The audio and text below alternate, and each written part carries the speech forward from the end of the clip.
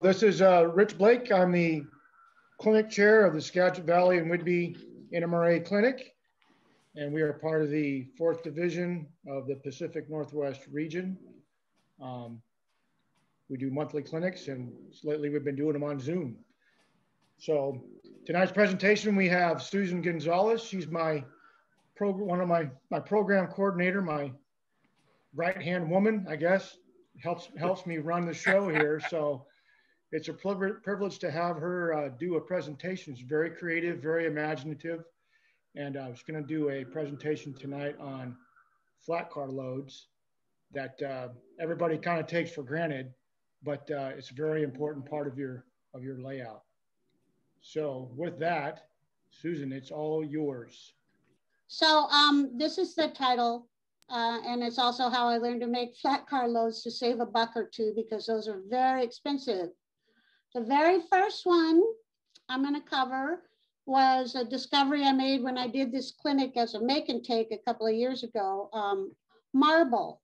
Marble, um, I discovered the Yule marble mine, mine in Montana or Colorado, Colorado. Um, it was discovered in 1874. It's 9,300 feet above sea level. The marble was used to build the tomb of the unknown soldier. These guys at 9,300 feet built their own hydroelectric plant to power their little electric train that they used to haul this marble. Now, the neat thing about marble is it's found in every state of the Union, including Alaska, for that one guy that we have from Alaska.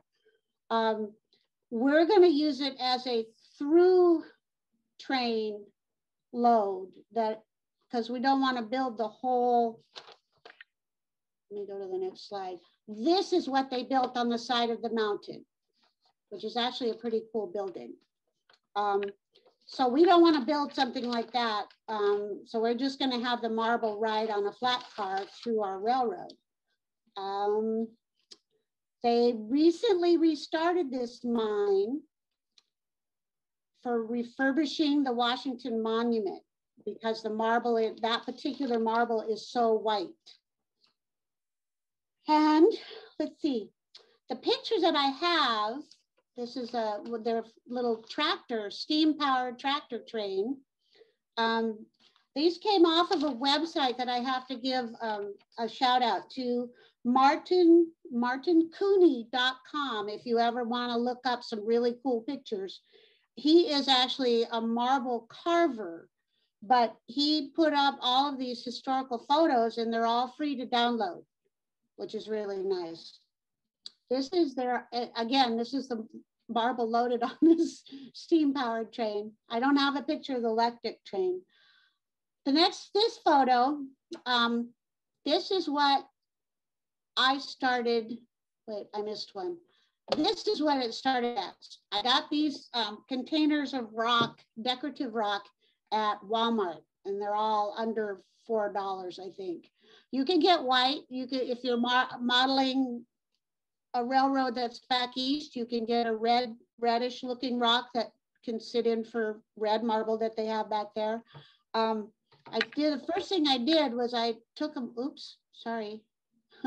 I took them out of the container and I got the biggest ones and I squared off some of the sides with a Dremel tool.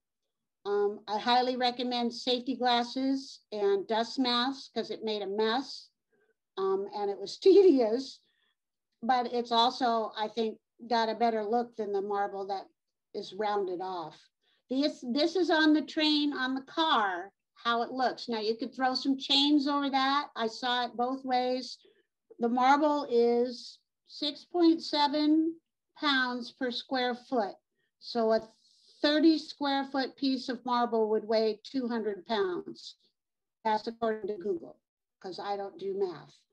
Um, so you could you could stack it on there. You can put it in in a box. You know, you could put it on pretty much any car. I don't know about a box car, but um, I had a lot of, oops, I had a lot of marble left over from the clinic. So we'll be having a couple of cars going through. And then my next trick, barbed wire. I don't know. I got hooked on barbed wire. I just, um, it was invented in 1867, um, but it wasn't until 1874 that they had a practical machine to manufacture it. Now the railroad, the railroad actually um, used a lot of barbed wire to protect their tracks when they were going through cattle country because they got tired of paying for the cattle. And they had a unique kind of barbed wire, and I forgot to put a picture of it.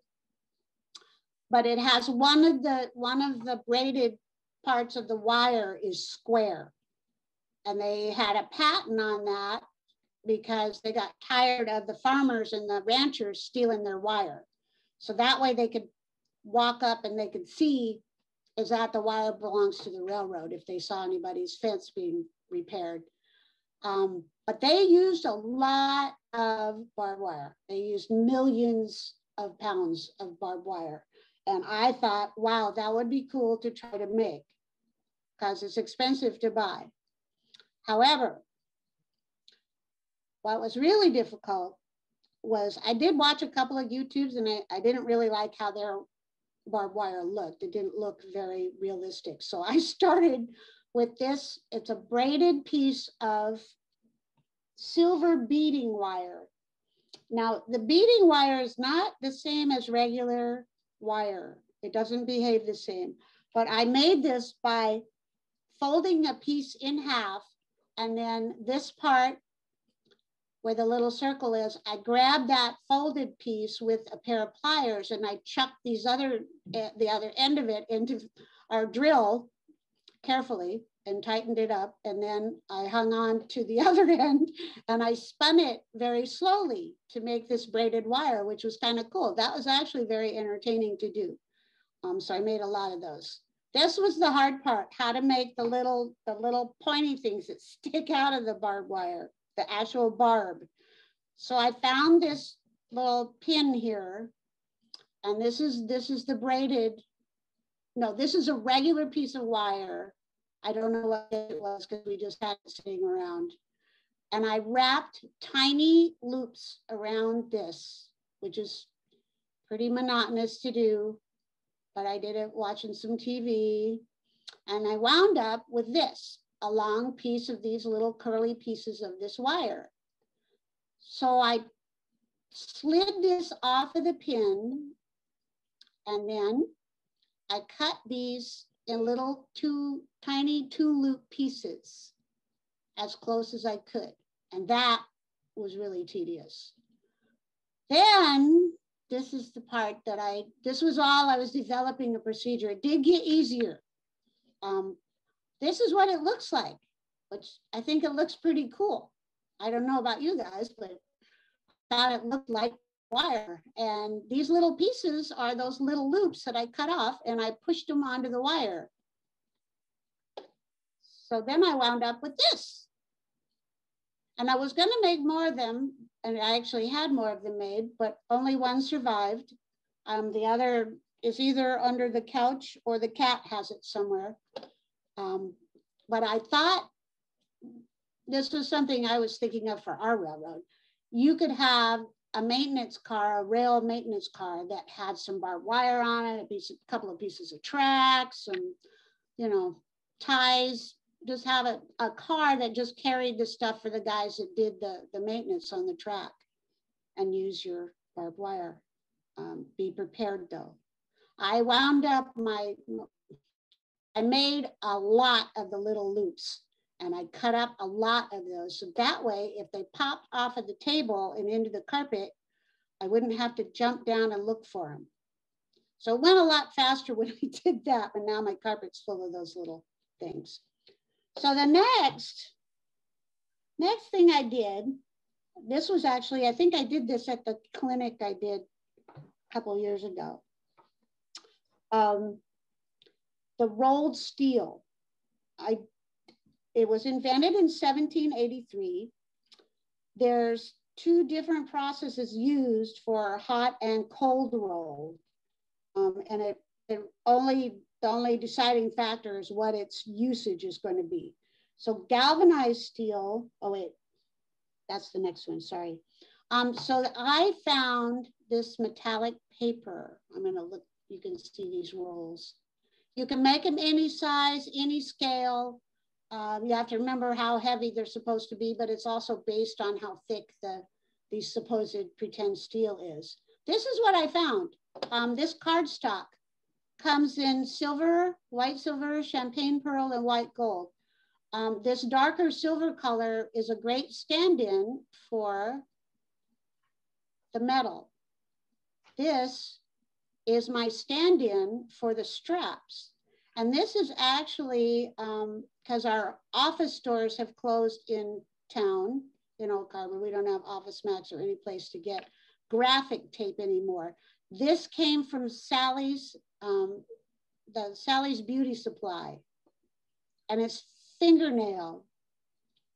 It's for fingernails. I don't know why women want to put striping tape on their fingernails, but it's really super thin and it's sticky on one side. And it's ideal for wrapping the rolls in. The next tool I came up with, this was just um, a piece of plastic I got for, you're supposed to use it for putting your shoes on.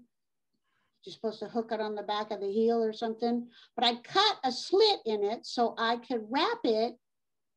I could put my paper in it and I could wrap it. So I cut all these papers into, um, I think they're four foot wide in HO scale. And then I just rolled it up tight as I could. And then I took the little rolls and I put that tape on it and here you go. Looks like rolled steel. And that too can go in different kinds of cars. It can, this is not exactly a, a flat car, but it's a crib. But anyway, so you have to pretend about the blocking and whatever you want to, you can do whatever you want to do. Um, my next, this was my, this was fun. Okay. I'm going too fast now, but we'll have lots of times for questions. So the galvanized steel was invented in 1836. Actually, hot dipping galvanized metal would, that started 300 years ago. So it's been a it's been around a long time. I was going to try making my own galvanized metal, but I discovered it's toxic chemicals, so it's zinc and it's mixed with something else. But the hot dipping is actually um, going to last longer out in the field. It won't rust as fast. But it's used for train cars and shipbuilding, silos and cars. Um, you can paint this galvanized metal if you wash it and wipe it down with vinegar. So if you wanted to paint something out of galvanized metal, you could paint it. I didn't want to paint it because I had this idea that I was going to make steel, flat steel loads with it. So the first thing I had to buy were these. These is the most money I ever spent on anything, but I can also use it for cutting chicken wire. So I'm okay with that. This was the straight, that this comes in a left and a right hand cut and a straight cut. I had a right hand cut one that is not, it's not acceptable for what I wanted it for. So I got this one and I really, it was really kind of cool because I took that decorative piece of dollar store or whatever it is. I, it's supposed to be a hashtag sign. I don't know why you would want that, but for a dollar, I saw, I saw flat steel loads is what I saw. So I cut it up into four by eight sheets in HO scale. Um, I didn't measure the thickness of it, but I kind of think looking at the pictures now that I might have made them a little too, I shouldn't have stacked so many on a pallet. Um, but there they are. And I'm really kind of proud of those. Those are going to cruise down our railroad just fine. Um, I think I would put fewer sheets on there next time. Um, but they look pretty good for being galvanized steel. You throw some rust and dust on there, weather it up a little bit. Could be going out to one of the factories, build a silo. That, that's what I did with the dollar store galvanized metal. The next The next one I did, these didn't take very long to do either. And I only used up two of those. One was a practice one. So this whole stack cost me less than a dollar and I still have more left. So that's a pretty good deal for a flat car load. So then I saw these galvanized letters and I thought they were really cute. I couldn't imagine what I was going to use them for. And then I brought them home. I made friends with them. Now, the size, it doesn't tell you the size of these, but the size of these in HO scale is approximately eight feet tall. So you'd have to put them on a pretty big building, which is what I did. I made a sign to go on a big building. Um, this is not my my best effort because I was trying to I was rushing to get it done. Um, but uh, eventually, I'm going to solder a frame for this, and and it'll be cruising to some big city to go on top of some big factory, is what I think. But um, and I was going to put some chains on it, but I couldn't find any to drape over it. But I thought that was kind of cool. I didn't know you know, you guys might think it's kind of dumb, but I thought it was pretty fun to have a big old sign on a flat car going somewhere. And my inspiration for the project we did, the di remember the diorama contest, you guys? I were, I think you guys remember that when we did the dioramas for the flat car loads. This was my inspiration. This is a NASA. I love NASA their whole idea is if it fits, it ships. And they built this. This is, um, I don't remember what kind of tank it was, but it was for NASA. And of course, I lost the writing that was on the, the picture, but I built this. This is my UFO. I skipped one picture. That's the top. There's actually uh, an alien inside of there. Um, I had a ton of fun. The diorama included the men in black, a big black car, little tiny aliens, and um, some army guys. And it was pretty cool. It actually, these lights worked at one time. The battery died, and I didn't want to crack it open to change the battery. So, because it's all started, there it is again. It all started from these because I was walking through the dollar store looking for something I could use that was round. And this was the shape. And I cut this part off. And then I rounded it out. The bottom side of it has a little flat piece too that I had to cut out. And then I sanded all that plastic down. So I just had this round part and I made this flush so that they were flush together on top of each other. And then I found this, I'll show you this. This was a, the lid off of a face cream jar, a little tiny face cream jar that became, I cut all of this out and then with a Dremel tool and then I just used this top part of it. And this was the light, this is what's left of the, the inside of it is actually a Halloween, one of those flashing pumpkin lights that you see when at Halloween where you could set it inside the pumpkin.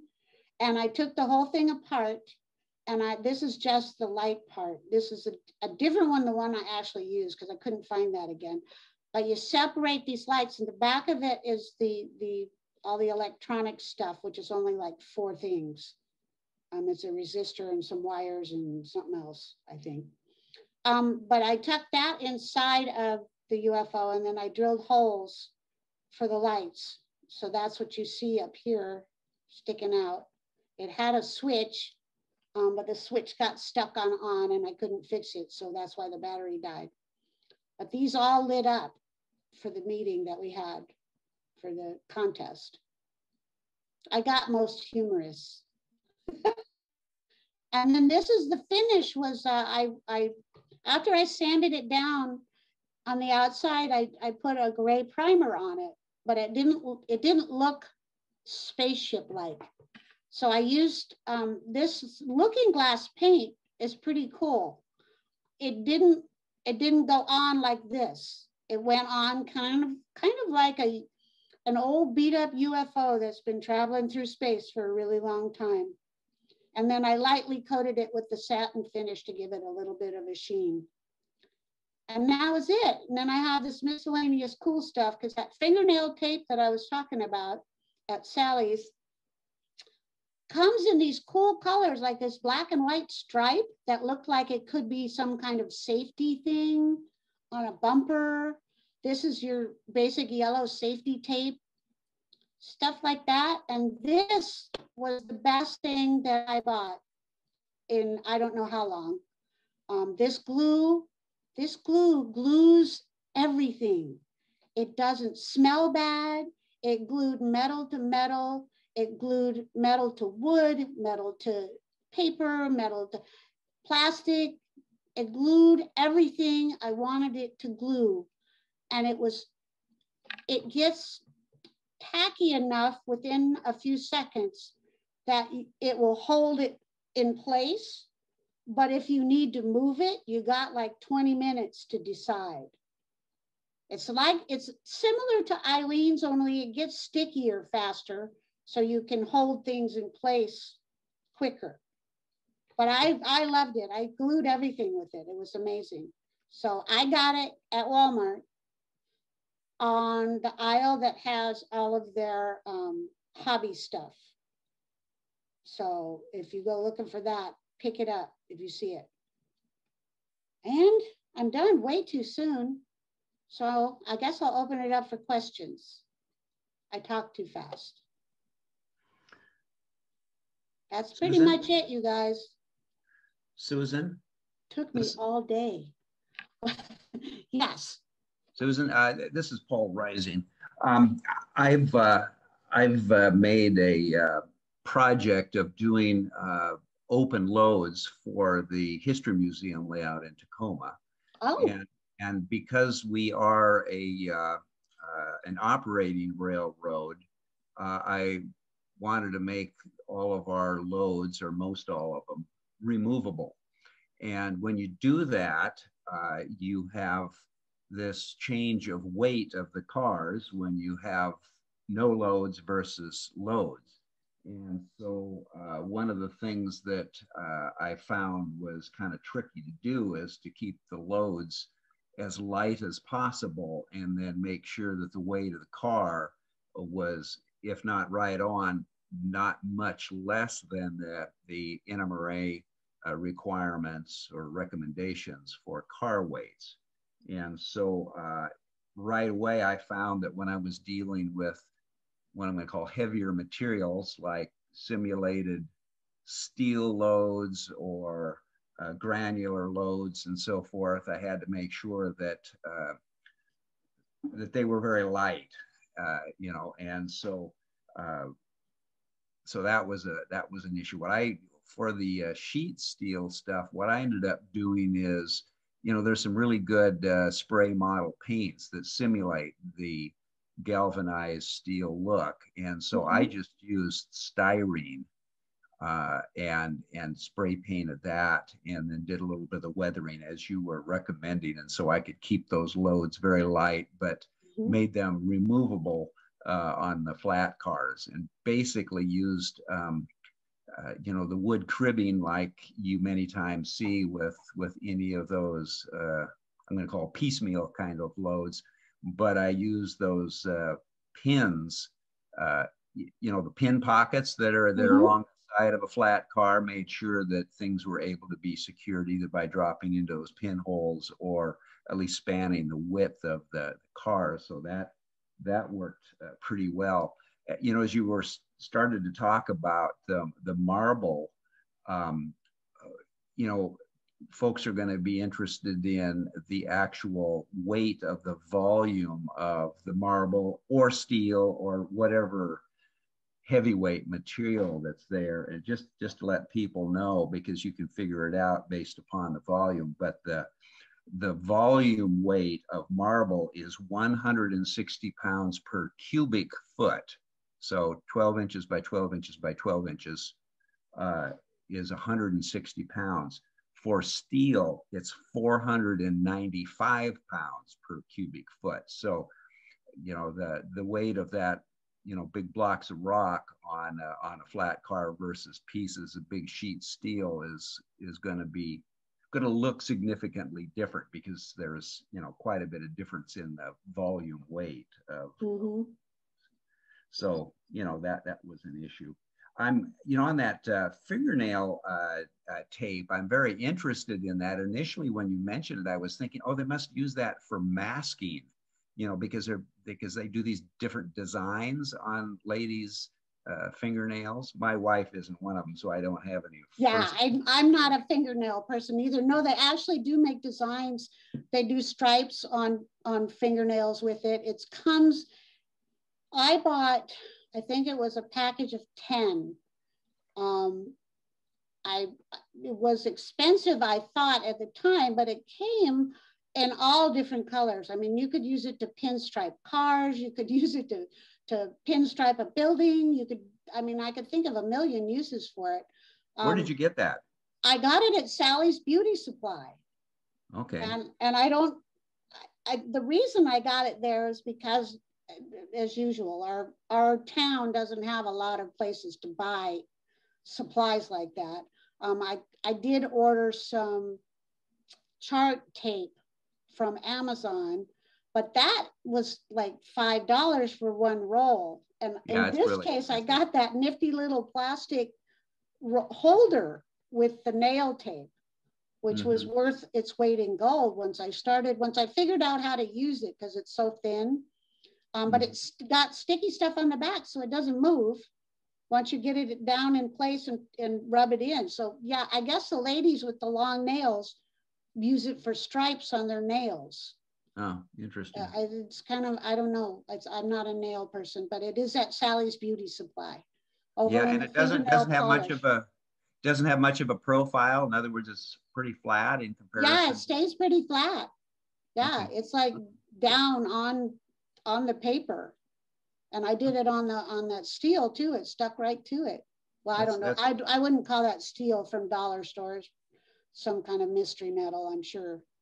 But uh, Yeah. yeah, I, as far as the weight thing, I did, um, I was, after I saw the picture of the, the cut stuff, I realized that I should have only had like two sheets of that per, because I didn't measure it after I cut it. I didn't measure it on a, on the HO scale ruler, but I'm pretty sure that was probably one inch thick steel. And I know how much that, that weighs a lot. Yeah. But yeah. uh, yeah, so, and the rocks actually are pretty lightweight. They'll, I mean, they'll, they'll keep, your car's not gonna slide around, but it's, putting three on there was not stressing the car out at all. And Yeah. they did drive, they did drive with, the- they put those rocks on there, they put like a, I don't know how many thousands of pounds it was, but there was a gigantic piece that they had on it, filled up the whole flat car. There was a Yeah. picture of the guy standing on it, and I was like, God, if they really didn't pay a lot of attention. I guess you just load it till it breaks. Yeah. Well, the issue, of course, is, is the, uh, is the whole NMRA uh, Mhm. recommendation for the weight of the car, just so that you don't end up uh, string lining uh, a train as it's going around a, a bend or something like that with a really Mhm. overweight car.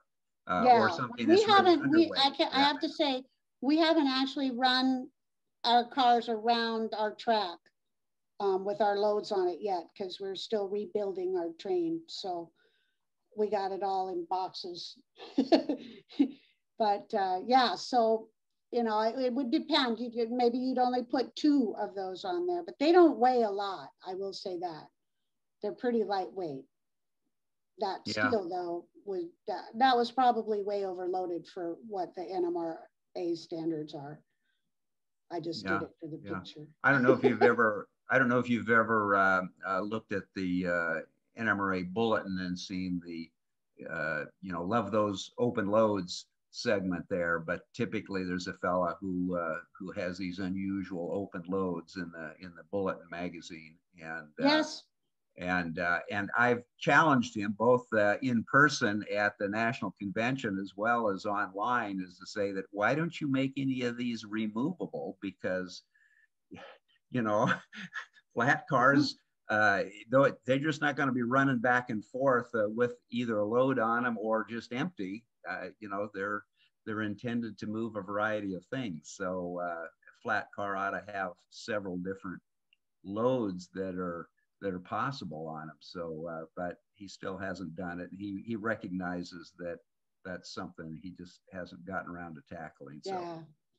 So, Yeah, anyway, tho- those okay. are the, the rocks and the steel and the, and the rolled paper are all removable. None of, none of them were glued down. So Very that is good. something I would probably have to research the weight thing and figure out what, how many I could stack on there. And then go with that. And then you could take them off when you're done. Yeah, yeah. Yeah. Okay, thank you. Mm-hmm. So this is, this Rich, um, excellent clinic, by the way. Um, very imaginative use of all kinds of different things that, you know, stuff you just find and then figure out how to make something out of it.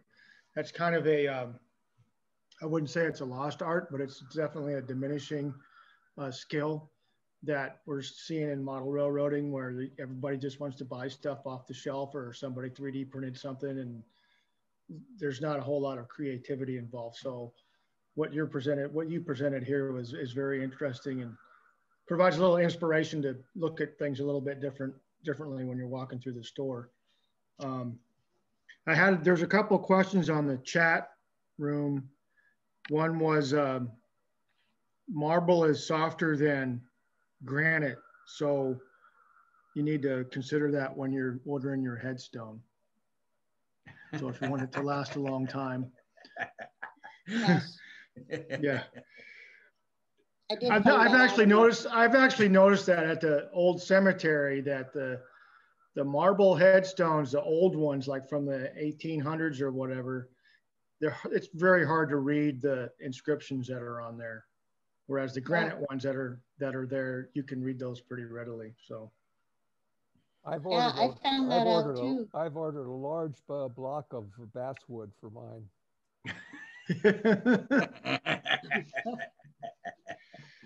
the other question was, uh, do you know what the first use of corrugated metal was? Um, that was not very, they, they actually figured out how to do that not very long after they came out with the sheet steel. Cause all that is, I watched, I watched a video on it.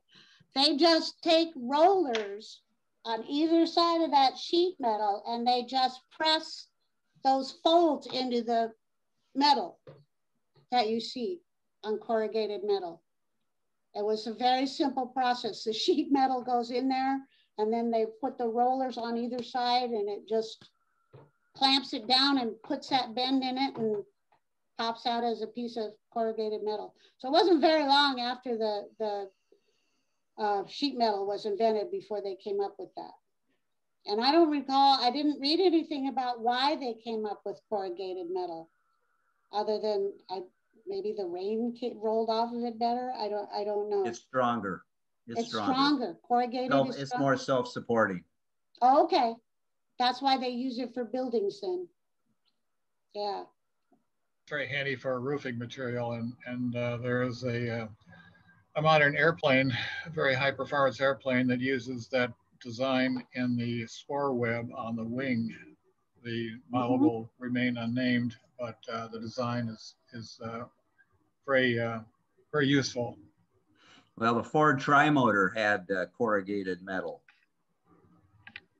and that was obviously it had to happen before the 20s and i i my research since i'm doing turn of the century i wanted to make sure that my roofing and whatever else kind of material would be uh, prototypical or, or at least era specifically correct. So that was the reason for the question Another thing they used it for was pipe. I thought it was Right. interesting that the 300 years that they were doing, they discovered how to hot dip the metal into the zinc to create the galvanizing.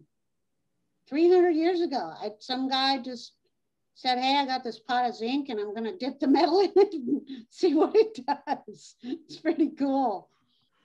Well, for centuries, they've been experimenting with uh, uh, with different metals and steel and so forth, uh, usually uh, due to weapons technology, you know, like making uh, swords and spears and shields and that sort of stuff. So that's that's been around for for quite a while too.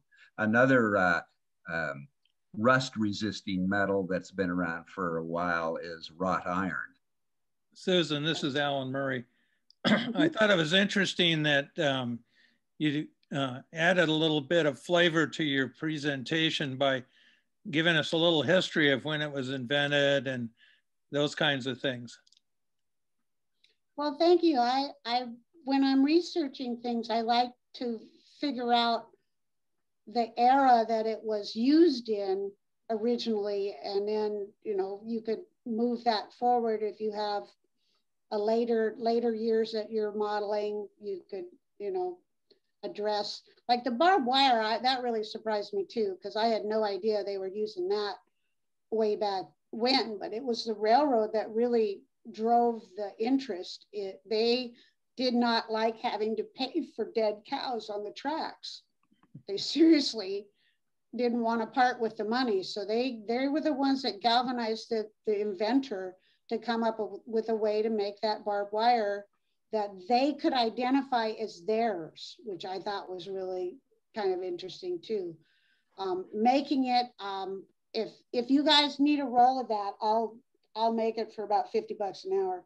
it's, it's, it's, really a tedious, but it, I really liked the look of it when I was done with it. I was really pleased with it. If I could figure out how to roll that beading wire up in a tighter loop, that's that's weird stuff. That beading wire, it doesn't behave like regular wire. Susan, mm-hmm.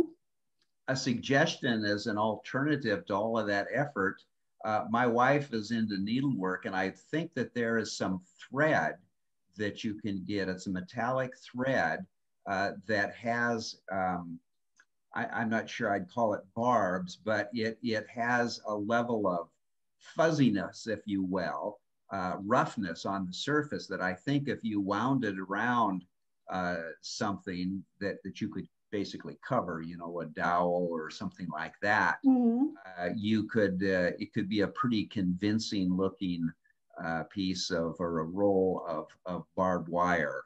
I know that I've uh, used some similar material as cabling, really fine cabling to hold loads mm-hmm. down to to the uh, to a flat car or a cribbing.